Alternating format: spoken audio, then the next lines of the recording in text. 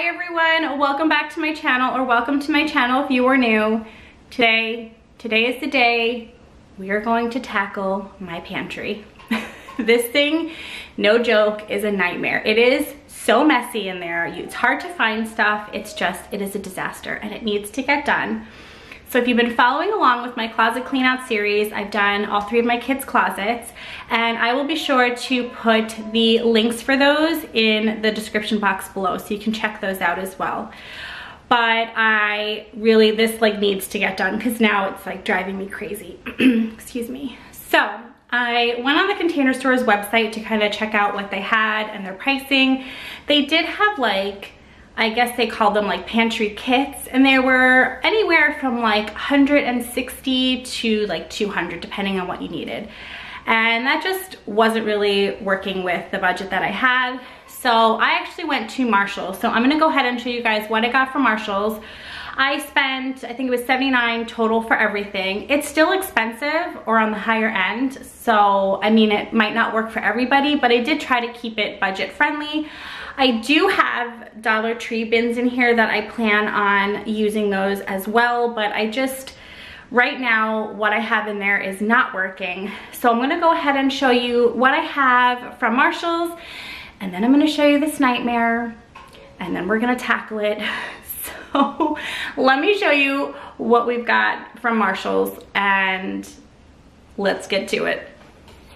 All right, so I'm just gonna give you guys a quick kind of overview of what I've got. These were actually from Target that I had bought when we um, purchased a refrigerator. I wanted to like organize that. So these were just left over from that, but Marshall's did have these baskets um, or similar, like a similar style um, at the Marshalls that I went to, but they were like a blue color. But you can definitely find baskets like this at Marshalls. So these were the containers, and I actually thought, let me just see, I actually really liked these, like this system versus the like push top one. So they come with these lids. So I've gotten a couple of different sizes here. I've got two of these trays. I found two of these, the Sistema. I actually use these for the kids for lunches and I really like this brand. So I got this for like cereal. And then this I also really liked because um, we do a lot of like baking and stuff, but I actually thought this was really cute um, for rice. It comes with like a measuring cup. So I figured I could put rice in here and then I could just use this instead of having to like take the whole bag out. And that's also by the brand Sistema. And then I have two of these. The most expensive item was this one, which was $9.99. Everything else was, I think, I wanna say $7.99, $6.99, $5.99 or $4.99. So I felt like this was a lot of stuff, reason reasonably priced. Um, so let's see what works, what I use, and now let's go take a look at the pantry. All right, guys, cue horror music. Oh my gosh, okay. So I tried to keep it organized. It just wasn't working. But here I have chicken broths, there's soups in the back. Up there is a box of cornflake to make cornflake crumbs. There's tomato sauces. All the way in the back, do you see those boxes? Those are the bags for when you like brine a turkey. In these bins, it's pasta. and this, what, like this is a nightmare. This is all snacks and cereal. I mean, you can't find anything if you're looking for it. You are, just dig through stuff. It's, it's just terrible. Down here, I have some rices, oil, honey, extra ketchup, beans, mac and cheese. And like you can see, like I labeled stuff. It was neat for a little while. and then it just got out of control.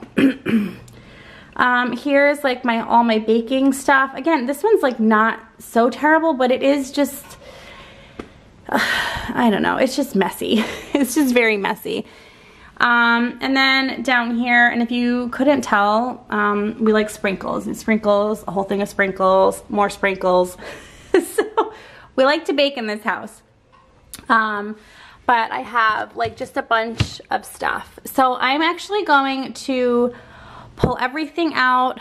I'm gonna wipe the shelves down and I'm gonna just go through and we are gonna just tackle this mess. So let's get started.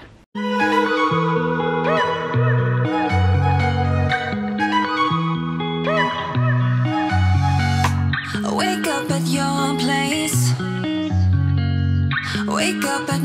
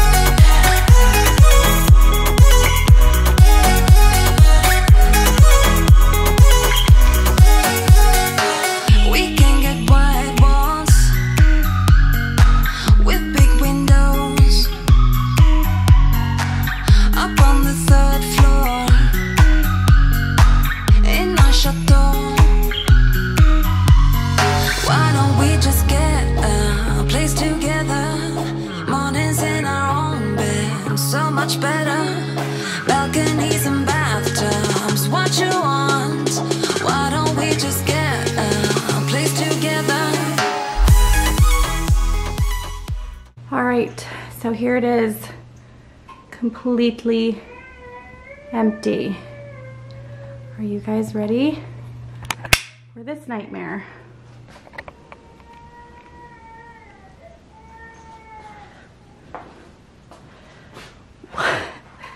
like what? What? Wow.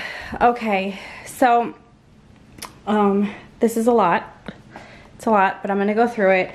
But I actually also wanted to show you, so like I had mentioned before, we do a lot of baking. So I got these containers from the Dollar Tree and I just labeled some of them Easter. This one is like Christmas, uh, Halloween.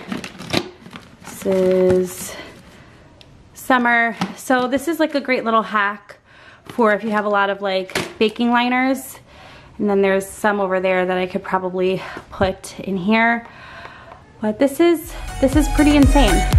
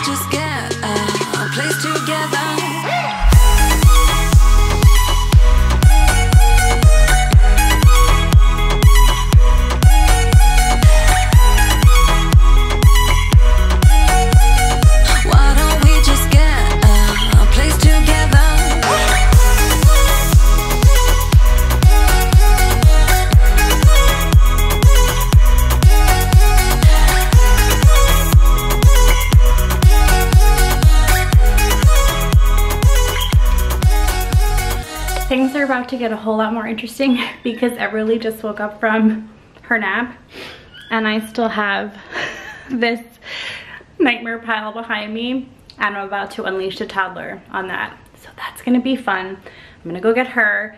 Um, wish me luck. Of course, as soon as I put her down.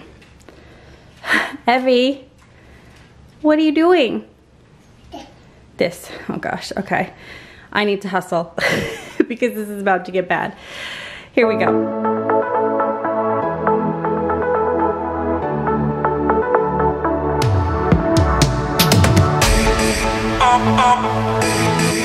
always. Um, um, be.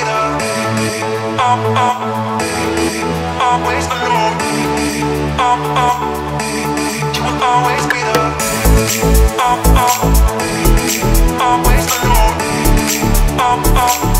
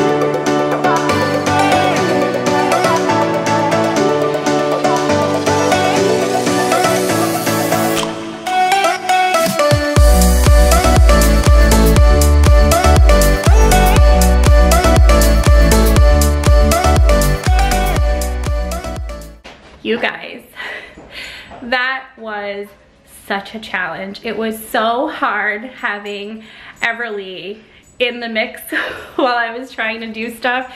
She kept taking things and bringing them in other rooms and then I couldn't find things.